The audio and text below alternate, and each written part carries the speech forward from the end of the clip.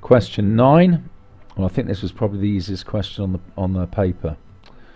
So, write 0.4 times 10 to the 5 as an ordinary number. Well, it's a calculator paper. Just pop it into your calculator and press um, uh, press equals. I think it's pressing equals, or is it pressing the SD button? I forget. But you press one of them. No, it must be the equals button. But the equals button, and it will give you 140,000.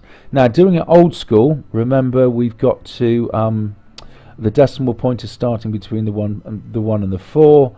We, we're looking for a big a big number as it's a positive power. We need to do five skips. So skipping five places, one, two, three, four, five. The decimal point ends up here after four zeros, hence 140,000. Now, which of these planets has the smallest diameter? Well, you look for the smallest power, which is 10 to the power of 3, and then, of course, you would then have to weigh up any other opening numbers which had 10 to the power of 3, but there aren't any, so it must be Mars, because um, that's the only one with a 10 to the power of 3, so Mars. Now for part C, calculate the difference in kilometres between the diameter of Saturn and the diameter of Neptune.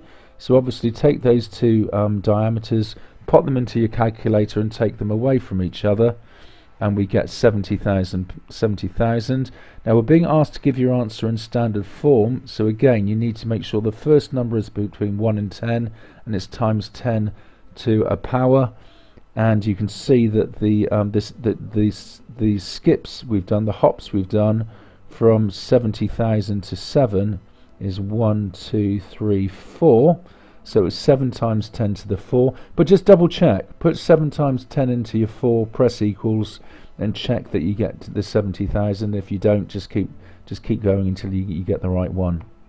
Now for part D we're being asked to calculate the ratio of the diameter of the moon to the diameter of the sun. Well we simply have to divide one by the other.